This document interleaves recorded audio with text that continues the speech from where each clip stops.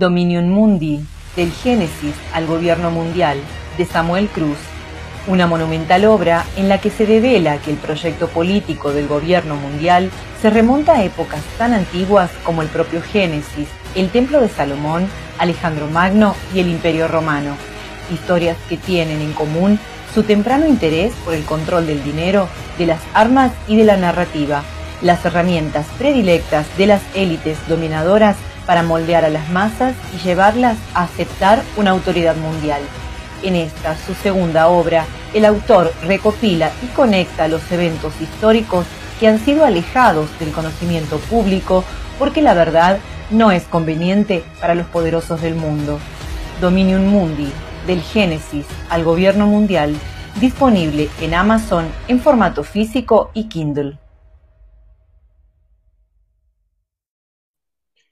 Muy buenas a todos, bienvenidos una vez más a Revisionismo y Geopolítica. Eh, pocas veces hacemos una transmisión doble o, dos transmisiones en el mismo día, pero las condiciones de, agenda así se prestaron, así que pues eh, estoy muy honrado esta tarde de estar con Héctor Juliano, un verdadero experto, yo diría que el, más grande experto en finanza, eh, por lo menos en, en habla hispana, que por desgracia los medios de comunicación, los grandes medios de comunicación, que ya sabemos para quienes trabajan, lo tienen un poquito eh, eh, raleado. Mientras que esta semana y la anterior yo lo he estado viendo con muchísima, muchísima actividad explicando todo lo que está sucediendo en medios alternativos, obviamente, eh, lo que está sucediendo en el mundo, la crisis financiera. Y don Héctor, pareciera como que la historia, si bien es cierto que no se repite, tiene ciclos, ¿no? Y y uno muy marcado, desde mi experiencia, que no es mucha, es que cada que se viene una crisis eh, a nivel eh, financiero, pues vienen los problemas militares y los cambios geopolíticos y, en fin, las crisis diplomáticas. ¿Cómo está, don Héctor? Muchas gracias por estar por acá. Bueno, eh, recíprocamente, Samuel, muchas gracias por tu llamada. Espero ser útil tanto a tus inquietudes como a la de los oyentes. Eh, lo hago bajo protesto porque eh, atribuirme una importancia muy grande en materia de experto financiero a nivel hispano es, demasiado. Soy un estudioso, sí sigo estos temas, para más tengo la combinación entre temas de macrofinanzas y geopolítica y hoy en día en un mundo eh, dominado por el dinero esas cosas pesan, ¿no? Así que no, estoy, estoy a tu disposición. Este, entiendo que el tema en este caso es eh, esencialmente financiero y vinculado a la usura, si no me equivoco, ¿no? Eh, en efecto. Si me permitís alguna consideración primaria. Vos después me interrumpís todas las veces que necesites ajustarlo, ¿no? Hay un viejo proverbio muy conocido que dice que el éxito más grande del demonio es habernos hecho creer que no existe, ¿verdad? Es un viejo proverbio. Y eh, fíjate que con el tema de la usura en la economía y las finanzas modernas ocurre eso. Nadie habla hoy de la usura. Cuando el mundo está dominado por la usura. No, no es casual, ¿verdad? no, eh, eh, es, eh, diríamos, jugando con las palabras, no es casual, sino que es causal. Entonces, todo lo importante que es secreto. Esa es una premisa. Este, y la usura es no solamente tiene una dimensión este, así ética, moral, sino operativa. Eh, una digresión que pienso que puede ser útil a todos, ¿no? La palabra que corresponde es usura y no interés. Se utiliza interés como para atenuar, para, para anestesiar el efecto de la palabra usura. Eh, una digresión semántica, pero que tiene importancia porque la semántica tiene relación con los conceptos, obviamente, ¿no? Eh, la palabra eh, usura proviene ya de la antigüedad y, se plasmó en el derecho romano. La usura se define muy simplemente diciendo que es la remuneración, la ganancia por el alquiler del capital prestado. Así se define técnica y hasta jurídicamente, ¿verdad? Eh, lo que pasa es que se utiliza la palabra interés, que para mí es inadecuada, porque la palabra interés también viene del latín. Eh, usura viene del latín usus, o sea, el uso del capital prestado, o el uso de una cosa prestada en general, pero fundamentalmente dinero prestado. El interés, que viene del latín interese, interese de intersum esse, significa etimológicamente lo que está en medio de. ¿Qué quiere decir? Lo que está entre lo que a uno le prestan y lo que uno devuelve. La diferencia es el interés. Ergo, la conclusión es que el interés es solamente la forma operativa de la usura. El concepto es la usura, o sea, la remuneración del capital prestado. La forma de instrumentar la usura es el interés, es decir, es la tasa, es el quantum de esa usura. Y, vuelvo a repetir esto porque esto está ausente en el debate moderno. El debate moderno soslaya totalmente la usura, mientras que toda la economía moderna está basada en, el uso de la usura, es decir, en el uso de la ganancia financiera. Yo, observo siempre que la gente no, no tiene la culpa porque no se lo explican, confunde economía y finanzas cuando son dos cosas diferentes. Cuando hablamos de economía nos referimos a la economía física o real, a todos los problemas que hacen a la inversión, a la producción, a la comercialización de bienes y servicios. En cambio, cuando hablamos de finanzas, finanzas, nos estamos refiriendo a operaciones especulativas de arbitraje. ¿Qué me conviene más? ¿Tipo de cambio o tasa de interés? ¿Criptomonedas o dólar futuro?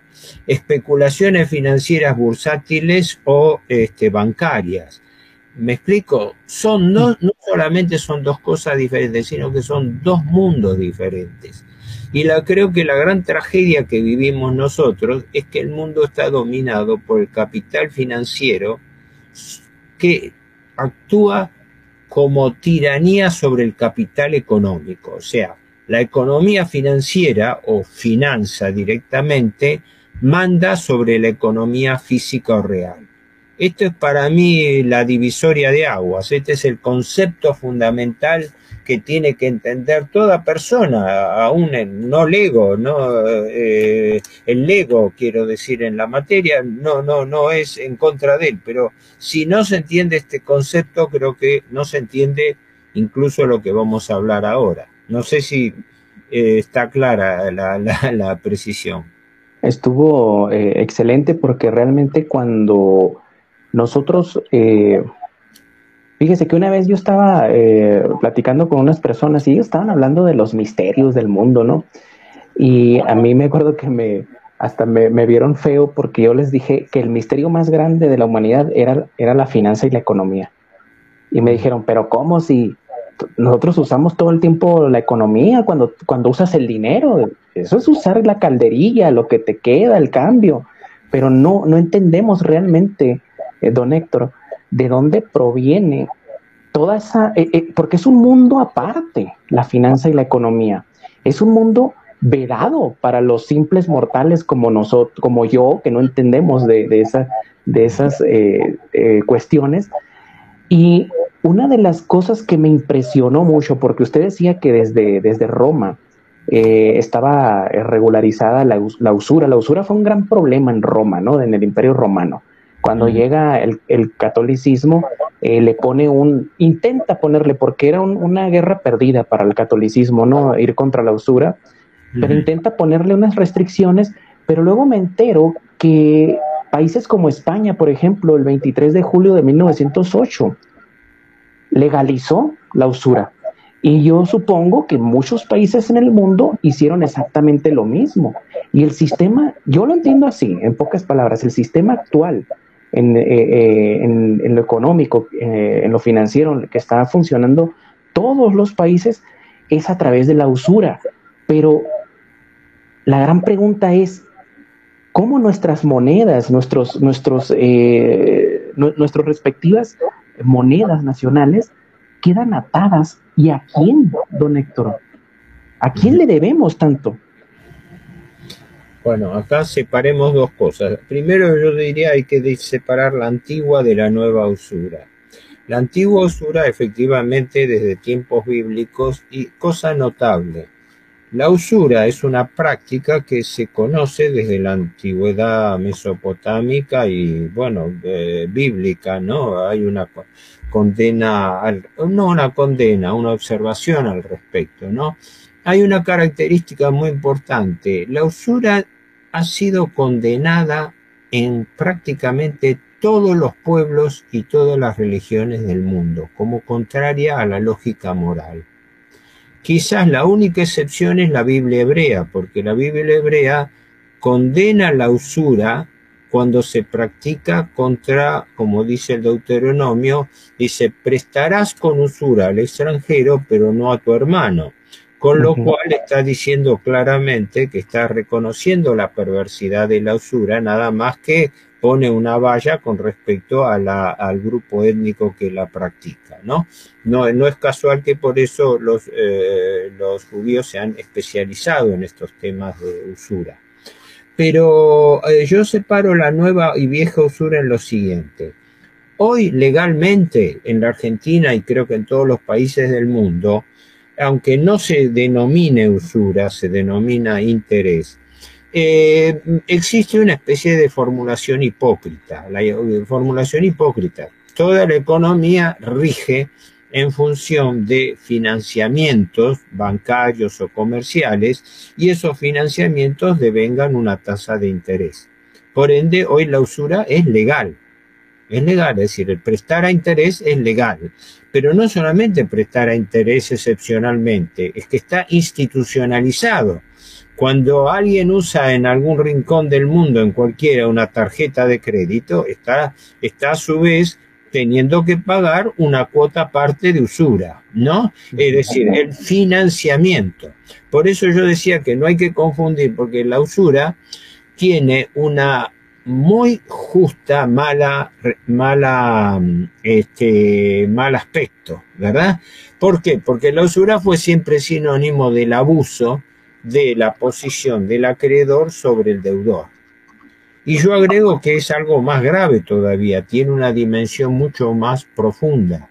Lo que el verdad, verdaderamente el prestamista usurero quiere no es como se supone muchas veces que el deudor le pague su deuda, sino al revés. La lógica del usurero es que el deudor nunca le pueda pagar la deuda para que el deudor nunca se deje de ser deudor. Y fíjate que esta regla eh, eh, universal se da a nivel del endeudamiento de la gente, del hombre corriente, de las familias, de las empresas y de los estados. Por eso uno de los temas que yo he profundizado mucho, la problemática de la deuda pública, gira sobre ese tema, sobre el endeudamiento perpetuo del Estado. Todos los estados del mundo están endeudados. ¿Qué quiere decir? Todos están dependiendo de la usura. Y la primera potencia del mundo, los Estados Unidos, es el país más endeudado del mundo.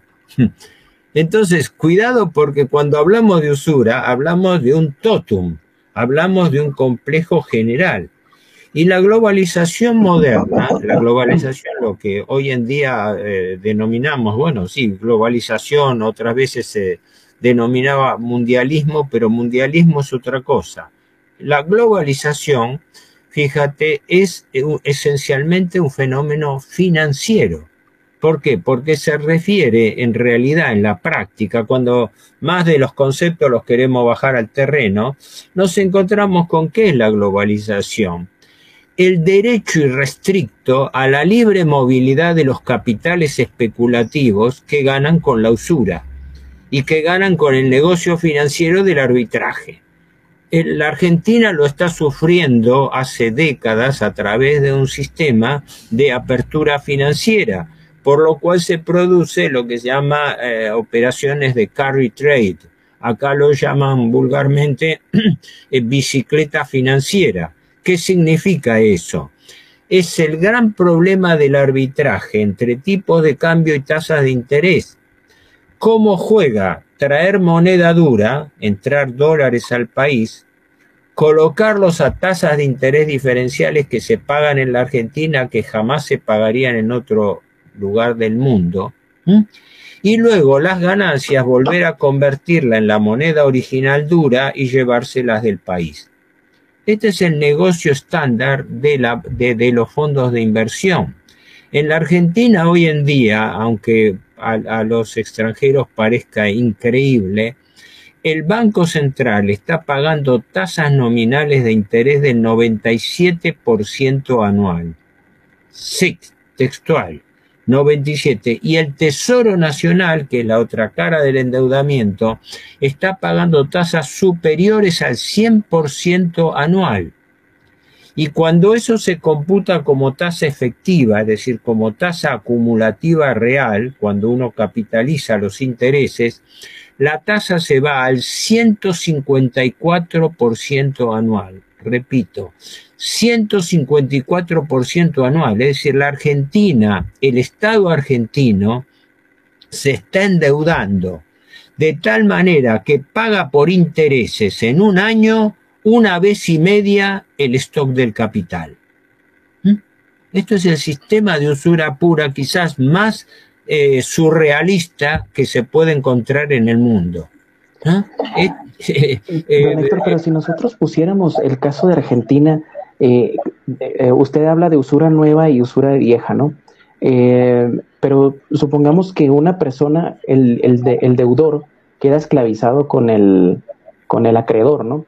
y este, un, deudor cualquiera, supongamos que una persona particular le debe a, cualquier prestamista usurero y queda endeudado para toda la vida pagándole, o sea, trabajando para pagar solamente los intereses. Es el caso de Argentina en la actualidad entonces, ¿no?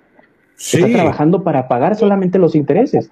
Totalmente. En la Argentina, eh, sin entrar a particularizar mucho el tema, porque quizás al extranjero no le interesa, pero habría muchísimo para hablar. Pero la Argentina no paga un centavo de dólar de capital hace rollover, hace refinanciamiento total de todos sus vencimientos, porque la Argentina no tiene plata ni siquiera para poder pagar la totalidad de los intereses. Este año, oficialmente, el Banco, el Tesoro Nacional, tiene vencimientos de intereses equivalentes a 13 mil millones de dólares, que podrían constituirse ya al doble porque las tasas de interés han aumentado extraordinariamente. Eh, fíjate que la deuda pública argentina en cabeza del Estado Nacional es hoy en día de 410 mil millones de dólares y solamente este año le vencen 103 mil, una cuarta parte de esa deuda. Y el gobierno no va a pagar un centavo, sino que por el contrario, aparte de hacer rollover, de refinanciar esa deuda en su totalidad, aparte va a pedir otros 34 mil millones más de deuda nueva. Total 137 mil millones de dólares. O sea, el crecimiento eh, de la deuda argentina ya tiende a ser un crecimiento eh, geométrico, ¿no? la desproporción es altísima. Y la Argentina en este momento está pidiendo más préstamos, con el objetivo primario de poder pagar más deuda. O sea, nos estamos, fíjate el absurdo, nos estamos endeudando más no para amortizar el capital, sino para poder llegar a pagar más intereses. Es un absurdo total el Banco Central paga eh, diariamente, diariamente eh, unos 37 mil millones de pesos diarios de intereses. Quería sacar la relación con el tipo de cambio oficial porque 37 mil millones eh, tomado al tipo de cambio oficial, que en este caso es 250, son 150 millones de dólares por día, por día. ¿Mm? Eh, una, una locura. El otro día tomaba la comparación yo, que lo ponía en, varios reportajes, que el costo de construcción, si uno financia la construcción de un hospital de, mediana, de, alta complejidad en la Argentina, le sale lo que se paga en un día de intereses equivale a construir 12 hospitales de alta complejidad en la Argentina. Esa es la desproporción. Mira, te, cito una cosa que es oportuna. El actual titular del BID, del Banco Interamericano de Desarrollo, es un banquero, un, funcionario de trayectoria que Ilan Golfan.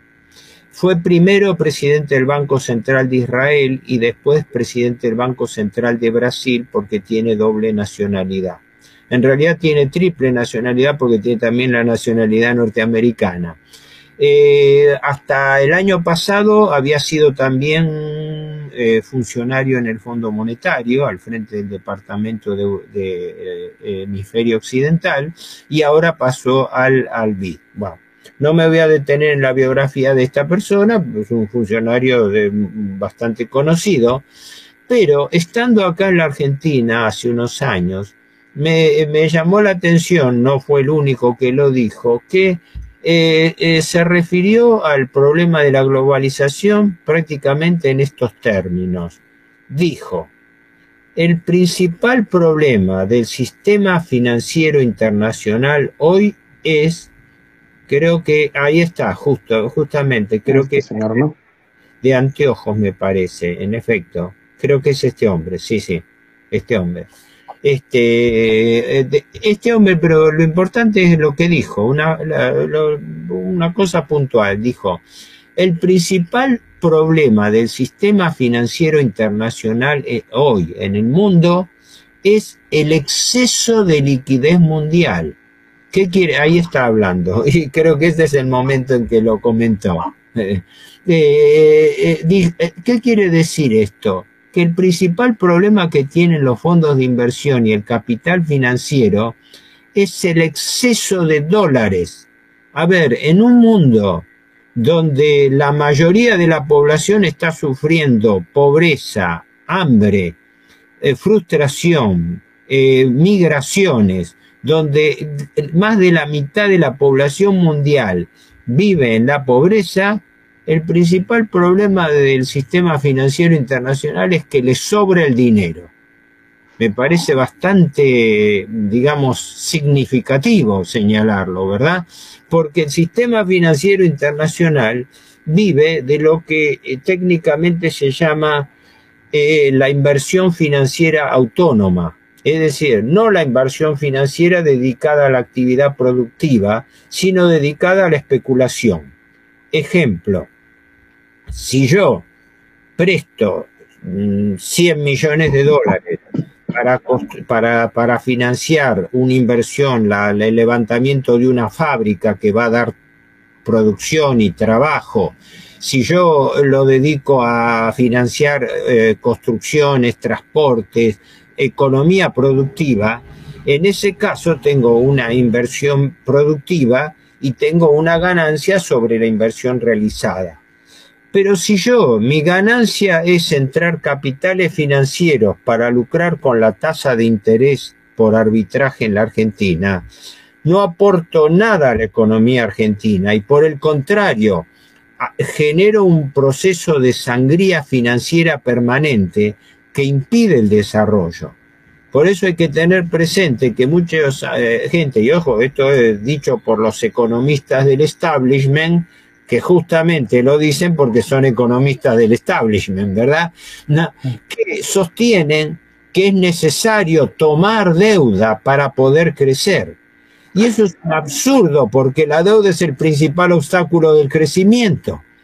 Lo estaba poniendo el ejemplo irritante del hospital para ponerlo continuamente. Entonces, ese mecanismo de saqueo financiero internacional es para mí la esencia del sistema de globalización que impera en la Argentina y en el mundo. Por eso decía al comienzo, el dinero manda en el mundo. Y peor, la finanza, que es el poder del dinero libre, el poder del dinero, la finanza está matando la economía.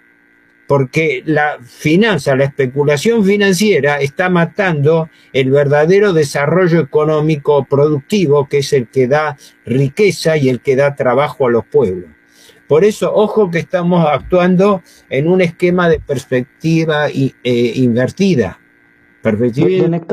ahí me, gustaría, por favor, ahorita que hacía la distinción entre finanza y economía, que explicara un poquito para la gente, en palabras muy sencillas, la diferencia entre, yo lo entiendo porque lo, he escuchado varias veces a usted, ¿no? Pero me gustaría que explicara por qué la finanza es diferente de la economía y por qué está matando a la economía real. Bueno, eh, eh, lo mencioné al comienzo, pero trato de reiterarlo en términos más eh, entendibles. Entonces, normalmente todos los problemas son rotulados como problemas económicos. Pero la economía es una ciencia, bueno, una disciplina científica que estudia los problemas de generación, distribución y alcance de la, eh, de la riqueza, de las actividades propiamente productivas. ¿no? Eh, la finanza es un instrumento, un instrumento para movilizar la economía, pero el dinero en sí mismo no tiene entidad el dinero no tiene valor intrínseco, no tiene valor en sí mismo. El valor del dinero es convencional, ¿no?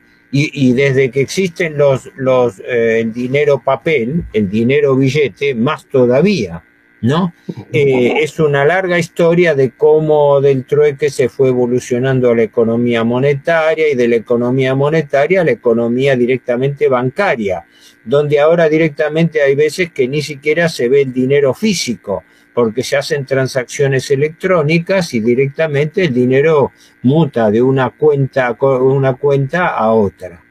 En consecuencia, cuando yo enfatizo esto, es para explicar que una cosa es la economía cotidiana del hombre corriente que gana el, pan diario, que gana su ingreso personal y familiar en base al trabajo, en base a su negocio, en base a la producción de bienes, es decir, a la producción, a la generación de eh, bienes y servicios. Otra cosa es el operador financiero, bancario o bursátil que desde su negocio, desde su eh, escritorio, arbitra entre valores que no tienen relación directa con la economía real. Es el caso típico que se presenta en la Argentina. En la Argentina existe un mercado negro que está oficializado por el cual el dólar se cotiza en el mercado paralelo o negro al doble del valor oficial. En el, mercado oficial el gobierno fijó un valor de 250 pesos por dólar y en el mercado paralelo o negro se vende al doble, 500. Por eso eh, la Argentina es hoy en día un país muy barato para los extranjeros. Mientras la gente acá no tiene plata, los extranjeros aprovechan todas las ventajas comparativas. Pero eso no es una novedad en Iberoamérica. En Iberoamérica este tema es cíclico durante décadas, nada más que en la Argentina se da en una forma más este, irritante. Entonces, no sé si trato de responder a, la aclaración de, tu, aclaración de tu pregunta. Yo quiero señalar que una cosa es la actividad económica, física, productiva, yo produzco algo, produzco un bien. Soy un carpintero que produce muebles. Soy un panadero que produce alimentos, pan. Tengo un negocio productivo. Soy un comerciante eh, que compra, vende su mercadería, la transporto, etcétera. Hay una, una economía física o real, ¿no? Eh, eh, y paralelo a eso hay una economía financiera que es autónoma es autónoma. El ejemplo típico es la economía bursátil.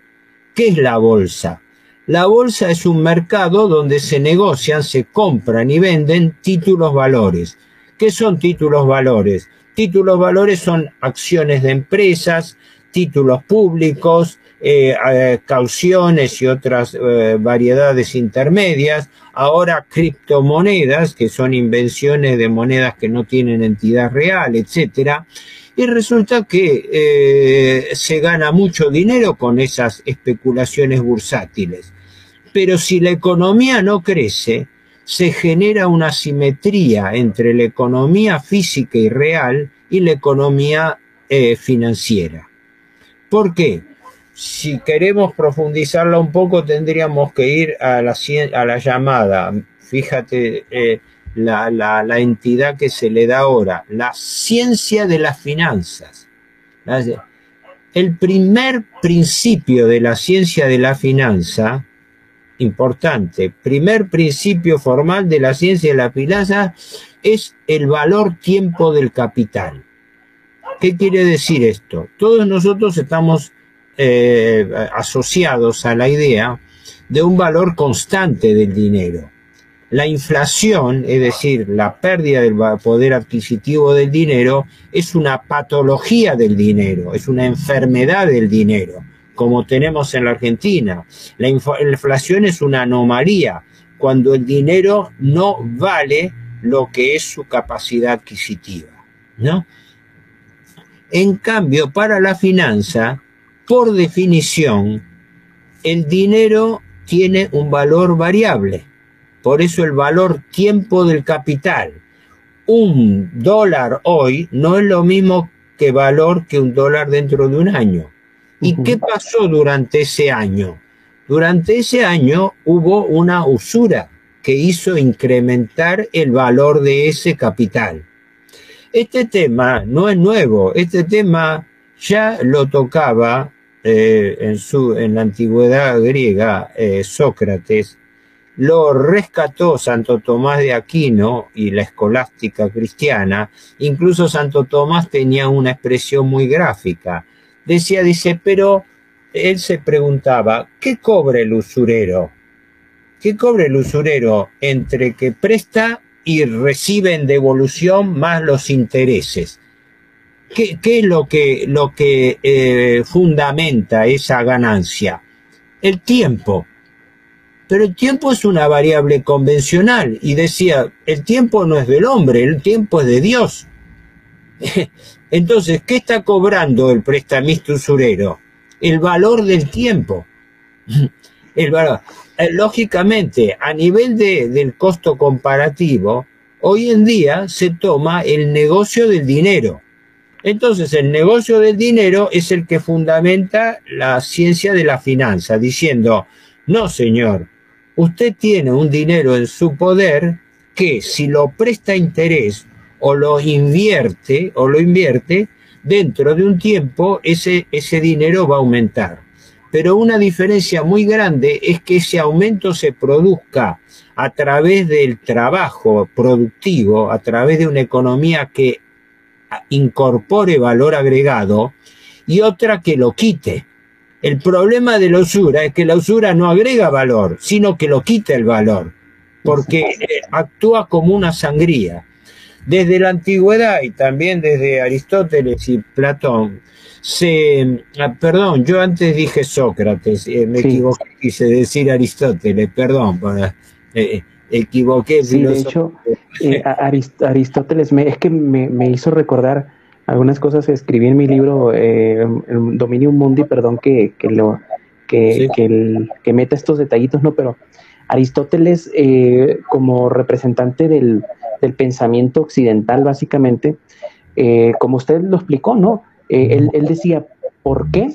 Porque es antinatural que el dinero cree más dinero. Sin embargo, en la liturgia religiosa hebrea, ellos como veían el, al dinero como creación de Dios también, entonces para ellos, ellos dotan al dinero de las mismas características de un ser vivo, es decir, reproducirse. Entonces para ellos había que reproducirse. Ahí está la, la, diferencia, ¿no? Por otra parte, lo, en, en, el, en el idioma hebreo, eh, la palabra usura es neshek, que la propia enciclopedia judía dice que significa mordisco. ¿Por qué? Por el dolor que hace pasar a la persona, al deudor, pues. Es bien interesante todo esto, don Héctor.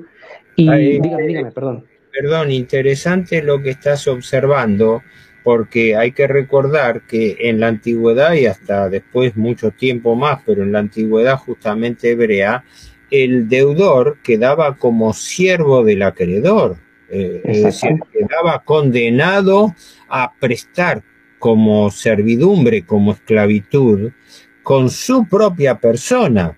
Él tenía luego con su trabajo que comprar su libertad al acreedor.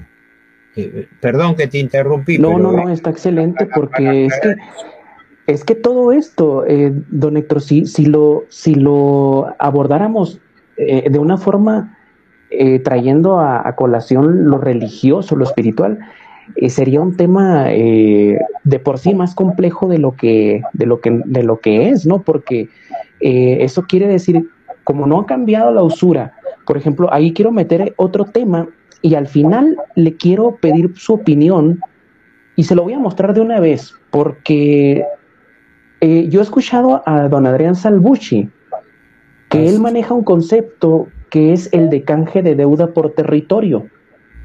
Hace mucho lo viene manejando y hace poco yo le mandé esto a, a don Adrián.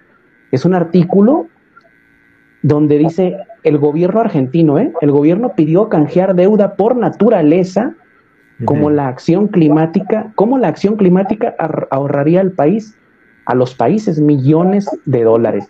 Se trata básicamente de que la, el país entregue naturaleza, entre comillas, o, que reforeste bosques, etcétera, a cambio de que se le vaya condonando la deuda. Pero ninguna deuda se condona, don Héctor, sin entregar nada a cambio. No es nada más porque vamos a sembrar arbolitos. Algo hay escondido ahí, ¿no? Claro, claro. Primero te aclaro, lo conozco hace años y soy amigo de Adrián Salvucci y coincidimos totalmente en este planteo. Luego te voy a señalar una diferencia, pero si me permitís voy a hacer una, una pequeña digresión sobre algo que dijiste antes que me parece muy importante. Hay un autor alemán que falleció hace tiempo, historiador de la economía, Werner Sombart, que escribió un, un, libro magistral de 1890 que se llamó El apogeo del capitalismo, un grueso libro en dos gruesos tomos donde demuestra cómo se fue dando la concentración económica en el, sobre todo en el último tercio o, del último cuarto del siglo XIX. Pero Sombart escribió después, en 1911, un libro muy importante que se titula Los judíos y la vida económica. Y allí me sorprendió que él analiza las relaciones entre la economía y la religión y lo aplica fundamentalmente a contrarrestar o a, discutir la tesis tradicional de Max Weber eh, sobre que el eh, protestantismo moderno es producto de la, eh, del capitalismo moderno, es producto de la ética protestante. El libro de Max Weber lleva justamente por título eso, fines del siglo XIX se escribió, lleva por título La ética protestante y el espíritu del capitalismo. Pero Sombart lo corrigió a Weber, a Max Weber, que era sociólogo, lo corrigió diciendo que en realidad no era exactamente así, que la verdadera inspiración del capitalismo moderno no proviene de la ética protestante, sino que a su vez la ética protestante está basada en el pensamiento de la Biblia hebrea y de la formulación calvinista y puritana del dinero, que está en consonancia con el pensamiento bíblico, bíblico antiguo testamentario, que tiene una idea central que relaciona la economía con la religión y que se aplica hoy en día. La idea de que la riqueza es un don de Dios. Esa es la idea central que señala eh, eh, eh, Sombart diciendo que esa es la verdadera clave del pensamiento. Y hoy en día es lo que representa la corriente del neopentecostalismo. Eh, el neopentecostalismo es una rama de la iglesia pentecostal norteamericana, muy asociada a la línea neocom, muy mezclada en esos conceptos, pero que reivindica este, este tema que hoy en día se formula desde la década del 40, que es el neopentecostalismo, y que gira sobre esa idea de que la riqueza, el bienestar material es un don de Dios. Este es el fundamento místico religioso del capitalismo moderno y más que nada de la economía financiera. Me parece importante señalarlo porque la gente eh, fue, eh, fue Sombart el que lo señaló debidamente y lo estamos viendo en la globalización financiera de hoy en día. A, eso iba, don Héctor. ¿Cómo juega en, todo este entramado de, de, sistema de usura internacional el sistema bancario? Y no sé si nos pudiera hablar un poco de este tema de la reserva fraccionaria, porque es un tema que muchos eh, historiadores eh, por mucho tiempo dieron eh, sentado de que en Roma estuvo prohibida la práctica de la, de la banca de reserva fraccionaria. Piensan que es moderno lo de la reserva fraccionaria, cuando en realidad a la propia Roma el sistema de reserva fraccionaria, por ejemplo, con banqueros como, como los Sulpici, la llevaron a, a crisis tremendas, ¿no? Sí, eh, por lo menos fue la base del capitalismo moderno, pero no quería cumplir en dos palabras con responder a la, a la, a la pregunta que yo dejé sin contestar sobre la tesitura de Adrián Salvucci sobre canje de deuda en territorio. Eh, eh, desde hace tiempo, bueno, cuando acá era estaba el líder político, el general Perón, él anticipaba que las grandes potencias vienen por nuestros recursos naturales. La, tesitura de Adrián, que lo sintetiza en la fórmula de canje de deuda por territorio, yo la comparto, pero con una eh, restricción. No creo que, salvo circunstancias extraordinarias, eh, eh, los acreedores financieros del Estado vayan a hacer una medida tan temeraria como pedir formalmente que se entregue parte del territorio en compensación de la deuda. Pero eso sí está ocurriendo en forma indirecta a través de qué? Muy simple, de las licitaciones y de las concesiones sobre los recursos naturales. La Argentina es un país riquísimo, pero la como pasa en la mayoría del mundo y en la mayoría de Iberoamérica, las principales empresas que explotan esos recursos son empresas multinacionales. Hoy en día, como sabemos, Chile, Bolivia y Argentina comparten las mayores reservas de litio del mundo. En la Argentina se lo da como un boom de desarrollo eh, eh, económico en curso. Sí, pero ese litio no lo explotan empresas argentinas, lo, explotan empresas internacionales. Lo mismo que el petróleo. Acá se habla de toda la localización del nuevo yacimiento de, los nuevos yacimientos descubiertos en la provincia de Neuquén, en la zona de Vaca Muerta, ¿no? Pero esas, eh, las empresas que explotan son fundamentalmente empresas extranjeras empresas multinacionales que se dividen el mercado de recursos naturales y lo explotan. Por eso coincido con la tesitura de Adrián Salvucci, con la única reserva de que ese proceso es indirecto, no es directo, no es que vienen y se apropian de una parte del territorio, lo hacen a través de las concesiones. ¿Por qué? Porque reducen el rol del Estado a un rol de tipo jurisdicción administrativa conviene que se mantengan los estados mientras sean jurisdicciones para explotación de las licitaciones y de los negocios de explotación de las grandes empresas multinacionales. Así funciona la economía mundial.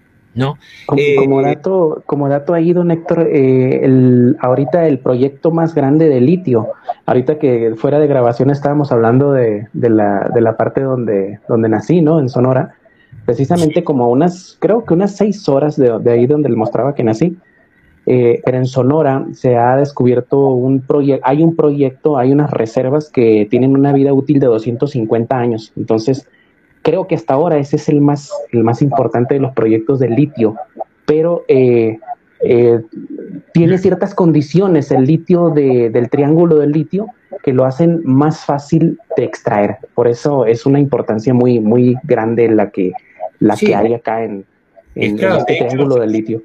son los salares de la puna que, están a cielo abierto, así que la, eh, no, no conozco la complejidad del, del proceso de, la, de obtención del litio, que creo que no es tan complejo, y la paradoja está en que nuestros países exportan en forma primaria el litio para que las baterías de automóviles se construyan en los países de donde están las multinacionales, ¿no?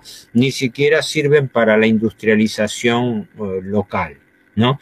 Eh, eh, eso con respecto a la observación de Adrián Salvucci, que, insisto, es correcta, la comparto, nada más que yo la mediatizo todavía no se ha llegado, todavía no se ha llegado a este punto extremo donde se pida una concesión territorial directa, una extranjerización de la tierra, pero sí una extranjerización de la explotación de los recursos naturales, que es una vía indirecta, una vía indirecta de apropiación de la, de la tierra, ¿no? mire, eh, don, don Héctor, este, este gráfico que estamos viendo, es del gobierno chino, ¿eh? es una iniciativa de, China que, dice básicamente cómo funcionan los canjes bilaterales de deuda por naturaleza. Y básicamente acá nos explican, ¿no? Hay un gobierno acreedor que, vendría siendo el que al que le debe la persona, el país, ¿no?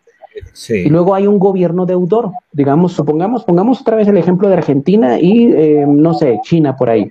Entonces, supongamos que Argentina le debe a China y entonces dice aquí, se cancelan, no sé, un millón de dólares en deuda por, eh, eh, por, por, los proyectos ambientales. O sea, el gobierno acreedor cancela o reduce la deuda del gobierno deudor. Una cifra acordada, por ejemplo, de 200 millones de dólares, 200 mil, perdón, que habría servido para pagar la deuda, se destina a proyectos ambientales. Pero no es, yo, yo, eh, por pura lógica, puedo entender que, a ver, China no le va a perdonar una deuda a Argentina simplemente porque siembre más pasto en la, en, la Patagonia, ¿no? No, eh, aclaremos lo siguiente. Hay eh, varios proyectos. Bueno, en la Argentina existe la Fundación Vida Silvestre, que es una colateral del Will White Foundation de multinacional, creo que con sede en Londres, que con el argumento o con el pretexto de la defensa de la naturaleza establecen eh, ciertas garantías que condicionan la soberanía de los países, ¿no? Y que eh, existen eh, muchas veces cláusulas de garantía con recursos sobre préstamos financieros. Pero eh, en lo que yo conozco, fundamentalmente la operatoria es por las, la, la contracara, la contraprestación del endeudamiento, es básicamente las concesiones de recursos naturales. En, la, Argentina, eh, los grandes los principales grandes terratenientes que existen hoy en el gran territorio argentino son extranjeros, son extranjeros. El primer poseedor de tierras de la Argentina es Luciano Benetton, italiano. Y el segundo son unas 700.000 hectáreas que eh, son propiedad del grupo Benetton. Y el segundo gran inversor es este em, eh, banquero, inversor judío norteamericano Eduardo Elstein, que dirige todo un grupo empresario y que a través de una empresa de él, Cresud, es dueño de aproximadamente, se entiende, unas 400.000 hectáreas en la Argentina. Quiere decir que muchas veces o oh viejo discurso socialista, oh viejo discurso anticapitalista, ¿no? Antes se hablaba en contra del patriciado terrateniente local. Ahora tenemos un, un, un, un uh, grupos terratenientes extranjeros, extranjeros. En la Argentina, en la provincia de Chubut, una provincia del norte de la Patagonia, ¿no?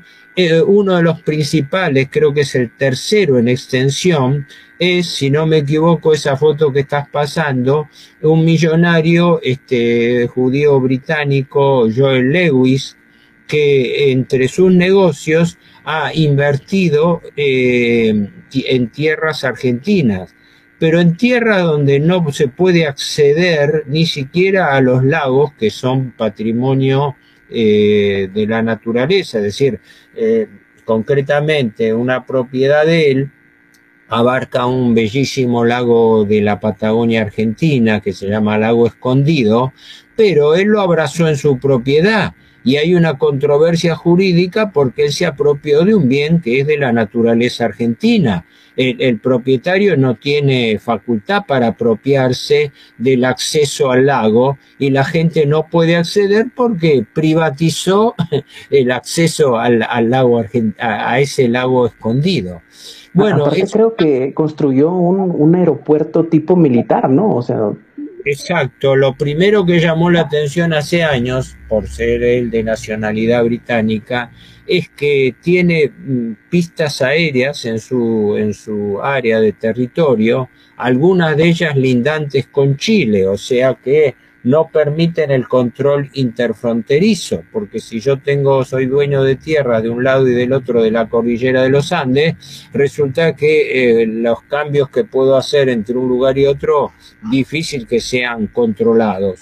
Y en efecto, una de las cosas que se señaló es que el aeropuerto que tiene para descenso de invitados, eh, eh, sectores turísticos, algunos se dice que no se sabe quiénes lo visitan porque los visitantes son secretos y tienen este aterrizaje propio, o sea que ni siquiera el gobierno argentino tiene conocimiento de quiénes son los personajes que llegan y salen de la Argentina a través de los aeropuertos de eh, Joel Lewis. Esa foto creo que muestra el aeropuerto, eh, la pista principal que se dice que es una pista eh, capaz de eh, permitir el aterrizaje y despegue de aviones militares británicos o de la OTAN en general. Y si no me equivoco, esa otra foto es la del famoso lago escondido que queda al pie de la residencia central que se ve un poco más arriba, que es la residencia central de Lewis. Esa es la eh, de, de techos rojos que está exactamente. Eh, mira qué casualidad que lo tenían ustedes bien ubicado. Ahora. No, mientras eh, usted me va diciendo, voy buscando porque es bien importante mostrar imágenes también para la gente, para que vaya entendiendo. Pero fíjese que mientras usted me va hablando de todos estos millonarios que van creando lugares en, eh, como, como puestos de avanzada, eh, es que la historia no ha cambiado nada, don Héctor. Me acuerdo que eso mismo hacían los siete magnates en, el imperio sasánida, en la propia Roma, iban construyendo sus propios feudos, ¿no? Y, en la actualidad sigue siendo lo mismo. El imperio británico eh, sigue mandando a sus, a sus agentes de avanzada para en un momento dado provocar algo entre Argentina y Chile y, quién sabe, ojalá no suceda, pero bueno. No, lo que pasa es esto, que hoy en día el capital, como es lógico, se ha internacionalizado. En consecuencia, ya ahora no se puede hablar de influencia directa de los países, porque los grandes este, oligarcas, porque esa es la palabra, ¿no? Eh, eh, oligarcas financieros, este, se manejan indistintamente con distintos países, nacionalidades, empresas, grupos empresarios, que generalmente tienen su cabeza en paraísos fiscales, por lo cual están exentos del control internacional. Por eso el mundo de la globalización es fundamentalmente el, mundo financiero. La globalización, el proceso de globalización tan mencionado hoy en día, tan cacareado hoy en día, es en realidad el proceso de, de, libre e irrestricta movilización de los negocios financieros, es decir, el libre movimiento del dinero. Y yo te debo una, contestación a una pregunta que sería en realidad el punto de partida de todo esto. Y vamos a plantearlo en términos muy simples eh, para, para nivelar conocimientos. Pregunta elemental, ¿qué es un banco? Un banco es un negocio que en, en principio compra y vende dinero, ¿verdad? Es decir, si yo tengo un, negocio cualquiera, una mueblería, algo así, fabrico y compro eh, mis materias primas, mis elementos y vendo. Bueno, el banco eh, vendría a ser un negocio que se dedica a la compra-venta de dinero, pero con una gran corrección. En realidad el banco no compra y vende dinero, alquila y presta dinero que no es lo mismo, porque el banco no opera con dinero propio, sino con dinero de sus depositantes. Y entonces, el depositante que va a un banco coloca un depósito, coloca lo que normalmente es un depósito a plazo fijo, depósito a interés, que lo hace eh, el ahorrista medio o lo hacen eh, grandes empresas, lo hace cualquier, cualquier eh, entidad, por ese dinero paga lo que se llama una tasa pasiva y eh, utiliza ese dinero para prestarlo a terceros que lo necesiten, ¿no? Empresas o, cualquier otra... Perdón, un segundo. Sí, no se preocupe. Te llamo en unos minutos. No, porque a veces estos malditos aparatos eh, interfieren. Eh, eh, no quería perder el hilo. Entonces, ¿qué es un banco?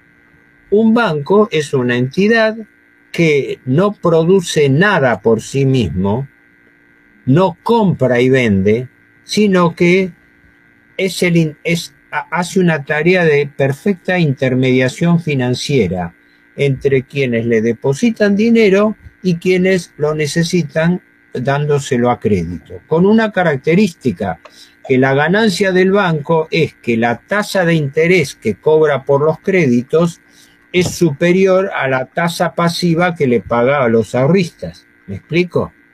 Entonces, esa es la esencia del negocio financiero, pero con una aclaración, que desde hace tiempo, eh, va desde su creación, los cambistas primero, luego se transforman en bancos, ¿no? Desde la Edad Media hasta comienzo, es el proceso de generación del capitalismo moderno, ¿no? Eh, en los bancos tienen una particularidad que no tiene ningún otro negocio. Los bancos prestan más dinero del que tienen. Es el sistema de reserva fraccionaria es claro, nadie puede, en condiciones normales, en una economía física o real, nadie por lógica puede vender más de lo que fabrica. En cambio, el banco sigue otra lógica, sigue la lógica financiera. Yo presto más dinero del que recibo. ¿Por qué? Por el llamado multiplicador bancario. ¿Por qué?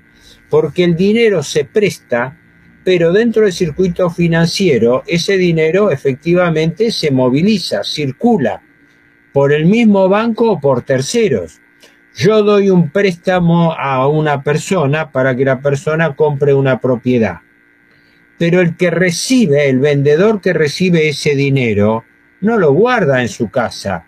A su vez lo deposita en un banco para hacer otras operaciones y quienes hacen esas otras operaciones vuelven al sistema bancario porque todo el, monopolio de la circulación de dinero lo tienen los bancos. Entonces se da el fenómeno, el fenómeno eh, ilógico de que los dineros, eh, los bancos crean dinero. ¿Por qué? Porque prestan más dinero del que tienen los bancos centrales han establecido el llamado encaje fraccionario, que quiere decir que obligan a los bancos a que una parte de ese dinero quede en caución del Banco Central por si el banco tiene algún problema y quiebra. En la Argentina, en principio, el promedio del encaje fraccionario es un 20%. ¿Qué quiere decir esto? Que si un banco recibe en depósitos 100 millones de pesos, ¿no? El 20%, este 20 millones, lo tiene que inmovilizar dejándolo depositado en el Banco Central como garantía por si pasa algo.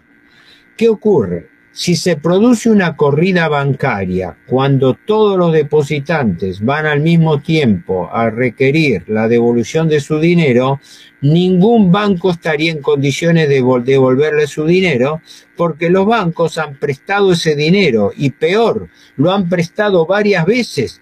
¿Por qué? Porque el dinero bancario es un múltiplo de la base monetaria, es decir, los bancos prestan más dinero del que tienen.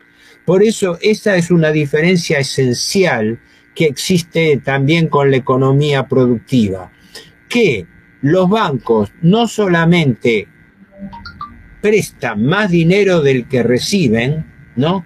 sino que a su vez lucran con este multiplicador bancario por encima del encaje fraccionario.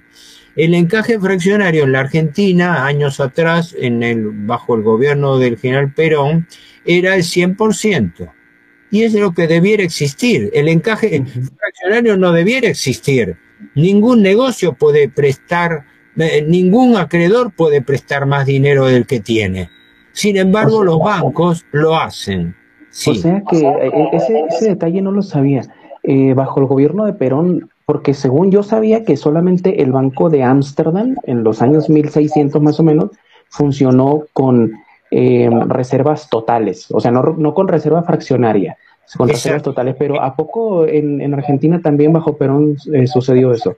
No, eh, por eso, el, el Banco de Ámsterdam fue, digamos así, el precursor de la Banca de Inglaterra, ¿no? Eso es importante, porque el, Banco de, el Banco de Inglaterra se funda en 1694 y el Banco de Ámsterdam lo precedió, no sé si fue en, en 1650, eh, algo así, ¿no? Por eso en realidad el que es característico es el Banco de Inglaterra, pero el de Ámsterdam le sirvió de modelo. Pero dejando de lado esa anécdota histórica, ¿Qué ocurre? Este, apenas los bancos desarrollaron el, ese crédito y ya venía de antes, de venía de antes, eh, el, gran negocio bancario desde los cambistas de la tardía Edad Media era el que comentaba yo antes, era que los bancos, los tenedores de depósitos, se daban cuenta de que los depositantes no requerían todos al mismo tiempo su dinero, lo dejaban eh, guardado en sus eh, cajas bancarias o rindiéndolo o no interés y entonces los cambistas, los primitivos banqueros lo prestaban, pero lo prestaban a múltiples personas Quiere decir, ellos producían lo que se llama el multiplicador bancario. Hoy en día el multiplicador bancario en la Argentina se estima de 5 a 1. Es decir, que los bancos tienen prestado cinco veces más capital del que realmente recibieron de sus depositantes. Entonces, por eso exigen un banco central, para que el banco central les sirva de prestamista de última instancia, porque los bancos centrales no están para servir al pueblo, a la población, sino para servir de seguro de garantía al sistema bancario. Por eso, fíjate la, la, paradoja. Hoy en día el discurso del establishment liberal en el mundo es la no intervención del Estado en los asuntos económicos y financieros. Sí, los que les conviene a ellos, porque cuando llega el momento, el principal garante del sistema financiero es el Estado, que es el que tiene que hacerlo. Y eso... ¿Cómo? Too big to fail demasiado grande para caer, dicen que son las, las instituciones y que el gobierno las tiene. que por cierto, don Héctor, eso también sucedía en Roma. Roma también eh, rescató varios bancos en su tiempo, pero igual cuando, cuando el Estado estaba en crisis, los banqueros hacían la vista gorda. E, exactamente lo mismo que sucede hoy no, no, no, he estudiado en detalle la evolución de la banca en la época romana, pero este, el mecanismo, de, por eso hablo del capitalismo moderno, se basa en el desarrollo de los cambistas y este, primitivos joyeros de la tardía Edad Media. ¿Por qué eran cambistas? Porque en ese momento no existían monedas nacionales. Entonces las transacciones se hacían en moneda de los distintos países de los que venían los comerciantes. Entonces la tarea de los cambistas era justamente ese arbitraje entre monedas cuánto vale una moneda traída por una caravana que por ahí venía del Asia Central y pasando por distintos países, es decir, cómo se cambiaba eso a florines de, de, en, Italia o en cualquier otro país. Entonces, en, el, en la lógica de la banca moderna, imperó este mecanismo de encaje fraccionario, es decir, yo, Banco Central, para cuidar al sistema financiero, retengo una parte de los depósitos. ¿Por qué? Porque suponiendo, palabra clave en economía, si en economía no existe la palabra supongamos que, no se puede hablar de economía, ¿verdad? Esa es una, una gran ilusión, ¿no? Suponiendo que Nadie va a ver una corrida donde todos los depositantes corran a la vez a pedir la devolución de su dinero. Entonces yo puedo arbitrar con ese, eh, ese juego de dinero. Recibo depositantes que me los van a aguantar, me los van a mantener en cuenta. Si les pago un mínimo interés, pasivo para que ellos eh, tengan estímulo en dejármelo en el banco, pero yo lo estoy prestando a un múltiplo y peor, no lo estoy prestando una vez, lo estoy prestando varias veces. Por eso toda esta gente que se llena la boca, todo este discurso liberal de que censura la inflación que se produce porque el Estado crea dinero, ¿no? Soslayan decir que también los bancos crean dinero. Y yo no, conozco a ningún economista que censure que los bancos crean dinero. Y es creación de un dinero privado. Y los bancos, los bancos crean cinco veces más dinero que el Estado. Y el Estado tiene derecho a hacerlo, porque el Estado, desde, desde que se consolida el Estado moderno, tiene el derecho de señoreaje, es decir, el derecho de emitir dinero. Y es así, porque, y tiene que ser así, ¿por qué? Porque los bienes de la economía real tienen que mandar sobre la economía financiera. Ejemplo, yo tengo que construir una fábrica en, digamos, la pampa húmeda de la Argentina. ¿Tengo los materiales para construirlo? Sí tengo tosca, tengo cemento, tengo fábricas de ladrillo, tengo no. ¿Tengo mano de obra para hacerlo? Sí, tengo mano de obra con distintos grados de capacitación, desde albañiles de la construcción hasta empresarios, lo pueden hacer. ¿Tengo vías de circulación para mover ese material? Tengo. Tengo todo, ¿verdad? ¿Puedo hacerlo? No. ¿Por qué? Ah, porque no tengo plata. Ahí tendríamos que hablar un poquito de, del, claro, del eh, patrón trabajo, ¿no? claro, eh, ahí es donde, bueno, ahí es donde viene la inversión de la lógica del dinero. Uno de cuyos expositores más esclarecidos, los hubo mucho, no hubo un, un socialista utópico alemán muy importante y poco conocido, Silvio Gesell, que escribió a comienzos de siglo, bueno, en 1930, pero como experiencia operativa, quizás la más importante fue la que hizo el ministro de Finanzas en Alemania eh, en la década del 30, Halmar Schach, ¿no? Donde eh, justamente una de las claves de, de, la, de, la, de la revolución económica alemana, de la preguerra, no, porque todo el mundo habla del milagro alemán de la posguerra, pero nadie habla del milagro alemán de la preguerra, que fue en realidad el que levantó a Alemania de la, de la, la servidumbre del capital financiero con la deuda externa impagable del Tratado de Versalles, ¿no? Bueno, eh, eh, eh, Schach, que era un banquero de profesión y era un hombre del riñón de la finanza, ¿no? Un hombre ligado a la alta banca, un hombre que era amigo personal de Montagu Norman, el titular de la Banca de Inglaterra, eh, un hombre que siendo ministro de Adolf Hitler, no era nazi, eh, además era masón, eh, o sea, no, no, no, no era alguien que así eh, planteado ideológicamente, quiero decir, ¿no?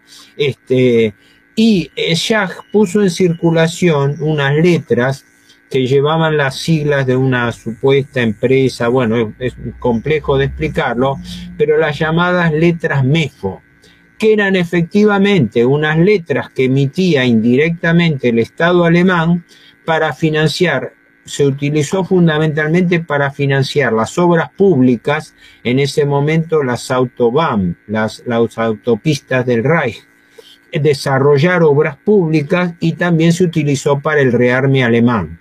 ¿En qué consistía en esto? Daba respuesta a este ejemplo que yo ponía de cómo construir una vivienda en la pampa húmeda hoy.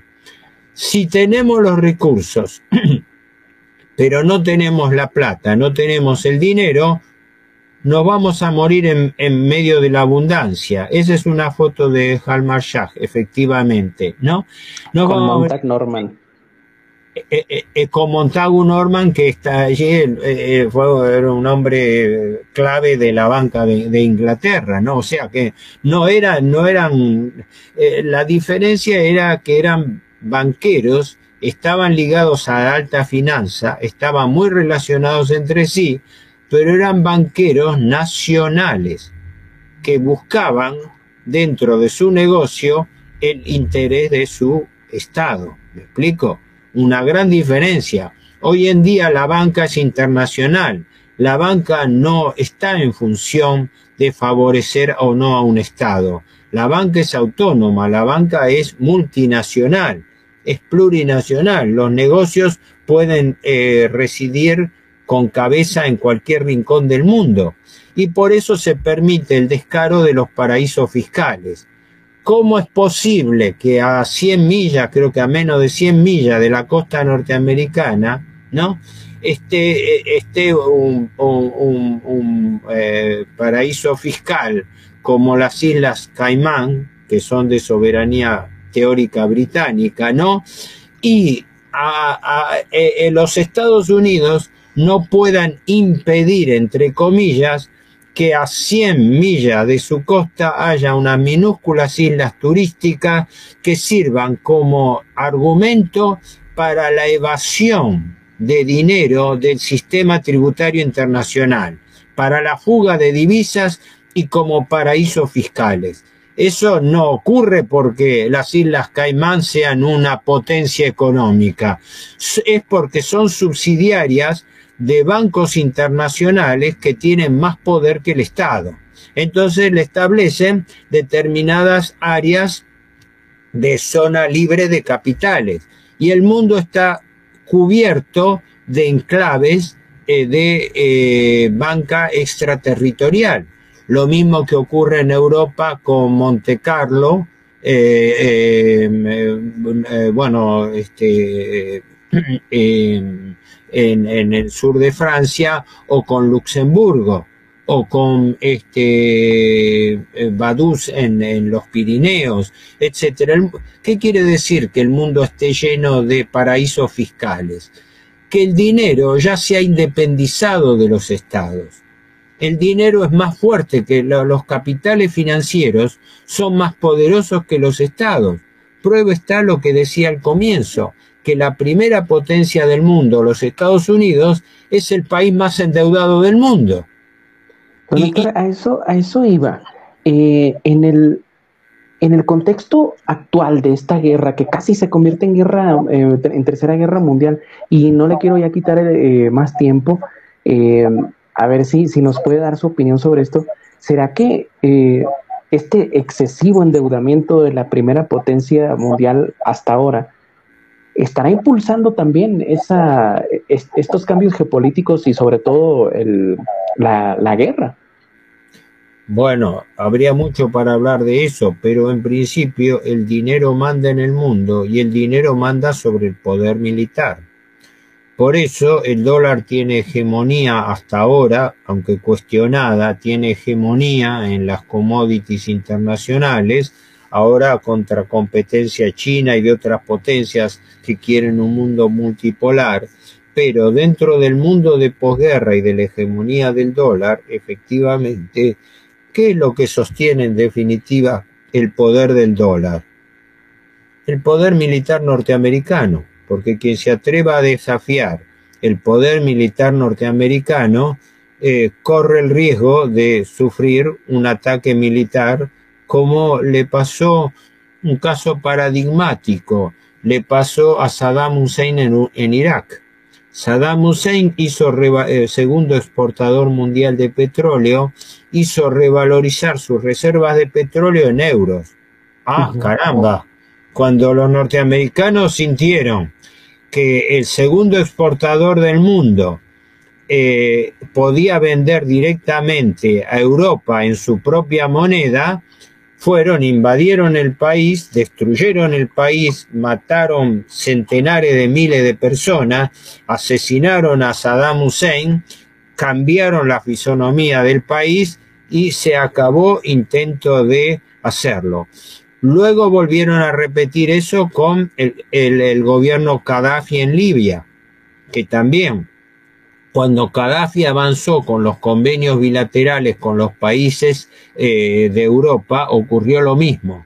Y ahora está ocurriendo un remedo con la crisis de Ucrania, donde uno de los objetivos de la, a mi juicio, de la, de la intervención abierta de los Estados Unidos eh, contra Rusia a través de la OTAN, tiene por finalidad cuál? arrastrar a Europa a un conflicto contra Rusia en un momento en que las relaciones entre la Unión Europea, fundamentalmente Alemania, la primera potencia económica, y Rusia estaban en un ápice de eh, relación.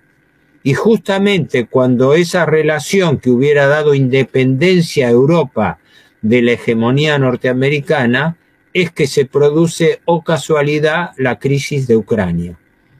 Hoy en los Estados Unidos están usando la crisis de Ucrania como en la Segunda Guerra Mundial utilizaron la crisis de Polonia para provocar una guerra mundial o por lo menos amenazar, desatarla, para neutralizar la, la potencia europea, pero fundamentalmente para neutralizar el entente germano-ruso por el cual la, Unión la, tesis de Mackinder, ¿no? Es claro, el, temor de ellos, el, temor de ellos, por eso fue la tesis de Mackinder, formulada en 1904, advertía sobre el poder de Eurasia, pensando en que las potencias marítimas extracontinentales, entonces Inglaterra y después Estados Unidos, tenían que neutralizar todo intento de que se constituya una potencia económica en Eurasia. Y justamente en un momento donde se daba la combinación ideal, donde los, recursos de hidrocarburos rusos iban a abastecer eh, en forma económica la economía europea, se da que los Estados Unidos provocan la crisis de Ucrania. Eh, es, es, realmente eh, es un tema de importancia. No sé si lo hemos hablado, habría que hablarlo por, digamos, bueno, largamente, es toda una historia propia. Pero vuelvo a la, a la idea eje, quizás para no confundir a los espectadores, de que el mundo está gobernado por el dinero. Eso no significa una mención lírica. El dinero eh, es impersonal. Lo que importa no es el dinero, sino quienes detentan ese dinero. Eh, los detentadores de ese dinero, los grandes fondos de inversión, los grandes bancos internacionales, son los que gobiernan el mundo. Entonces eh, nos encontramos frente al fenómeno que los gobiernos de turno pasan, pero las estructuras plutocráticas del poder financiero permanecen. Y los gobiernos en casi todos los países del mundo, como ocurre desgraciadamente en la Argentina desde hace muchísimo tiempo, se transforman en meros administradores circunstanciales de estructuras de poder que son las que le fijan las condiciones de fondo. Ese es, eh, eh, esto es lo que, por eso yo, toda esta charla giró en torno a tratar de explicar, no sé si lo habré logrado y en qué medida, para tratar de explicar por qué yo decía al comienzo que acá se confunde algo fundamental, la economía y la finanza. Y el problema de fondo es que la finanza domina la economía. Entonces se produce una lógica inversa.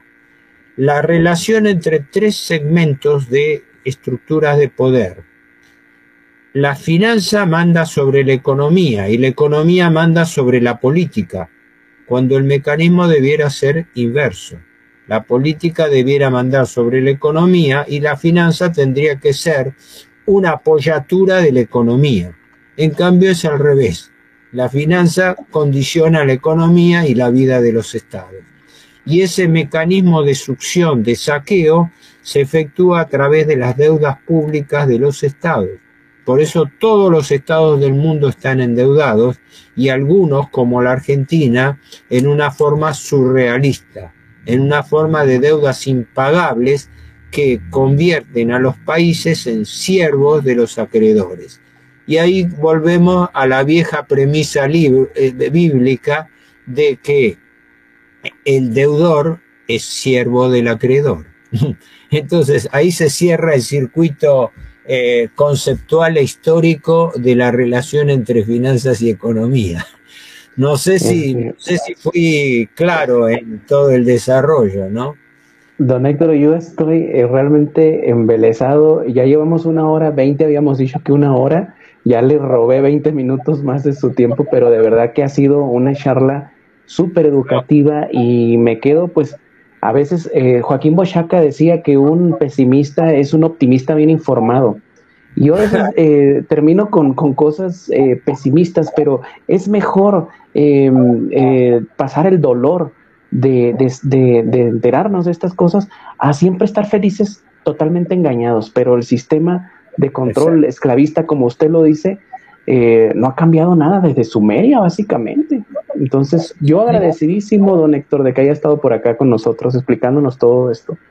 No, yo, eh, como siempre, espero, porque uno nunca queda satisfecho, porque uno piensa más en lo que no ha podido decir que en lo que dijo y, temo muchas veces que por ahí voy muy rápido y el, oyente medio, el espectador medio no puede seguirlo porque uno eh, eh, sigue otro orden de ideas. Pero primero espero haber sido útil en el sentido de haber transmitido cosas que sirvan. Después cada uno con sus libres raciocinio eh, concluirá lo que quiere, lógicamente, lo que piense, pero por lo menos tener en cuenta estos criterios de base. Y el criterio de base es este. Estamos viviendo en un mundo financiero, una globalización financiera que subordina y está matando la economía, es decir, la finanza está matando la economía físico real. Y las consecuencias le estamos pagando todo, y por eso sube la pobreza en el mundo, suben los problemas, se generan problemas de extracción de, de, recursos, se, problema, se, se acentúa el problema de la, de la mala distribución del ingreso, y todo tiene una causa común, el poder del dinero sobre la economía real, el poder del dinero sobre el trabajo, porque la economía real depende del trabajo. Entonces, la subordinación del trabajo y de la economía al dinero produce una conformación al revés de todo el sistema económico, financiero y político mundial. Y es lo que estamos viviendo. Hasta ahora es Eso es, eso es lo que yo estudio. Por el, por el momento no veo fuerzas de reacción organizadas contra este sistema, pero uno por lo menos tiene el deber, yo digo siempre, eh, uno tiene una especie de compromiso personal con Dios Padre de transmitir las eh, aptitudes que eh, Dios nos da Eh, yo soy una persona que en materia de manualidades soy bastante inútil, ¿no? Pero en materia de estudio algo respondo, algo respondo. Y antes que, antes que el doctor Alzheimer me empiece a robar las, las ideas, eh, trato de transmitirla pensando en que por lo menos ser útil a, quienes les interese el tema. Así que yo te agradezco la, la, entrevista. Muchísimas gracias, don Héctor. La verdad que y, eh, ha sido un verdadero placer. Y antes de despedirnos, me gustaría recomendar mucho un programa en el que está usted participando junto a otros grandes eh, exponentes de la historia eh, en TLB1, el programa se llama Crisis y Conflictos del siglo XX, creo. y Es, la verdad que es una cátedra, de verdad, que todo lo que no aprendieron en su vida de historia lo van a aprender ahí. Por favor, véanlo. Don Héctor, le mando un abrazo. Gracias, mucho. por la publicidad y igualmente un saludo para vos y para los espectadores, ¿no? Quienes accedan al programa y de hecho nos mantenemos en contacto. Es un gusto. Muchísimas gracias, hasta luego. Adiós. El mundo detrás de las cortinas, la historia como instrumento del control de las masas, de Samuel Cruz. Un libro que por primera vez en la historia desmonta la trama oculta detrás de la Segunda Guerra Mundial y responde a preguntas como cuál era el objetivo de los aliados al destruir la psique de los alemanes, o qué papel jugaron el Instituto de Tavistock y la Escuela de Frankfurt en los tratamientos de desnazificación y la reeducación de los alemanes, o incluso por qué estas instituciones se propusieron aplicar contra toda la humanidad lo aprendido con los alemanes. El mundo detrás de las cortinas, disponible en Amazon en formato físico y Kindle. Dominion Mundi, del Génesis al Gobierno Mundial, de Samuel Cruz una monumental obra en la que se devela que el proyecto político del gobierno mundial se remonta a épocas tan antiguas como el propio Génesis, el Templo de Salomón, Alejandro Magno y el Imperio Romano, historias que tienen en común su temprano interés por el control del dinero, de las armas y de la narrativa, las herramientas predilectas de las élites dominadoras para moldear a las masas y llevarlas a aceptar una autoridad mundial. En esta, su segunda obra, el autor recopila y conecta los eventos históricos que han sido alejados del conocimiento público porque la verdad no es conveniente para los poderosos del mundo. Dominion Mundi, del Génesis al Gobierno Mundial, disponible en Amazon en formato físico y Kindle.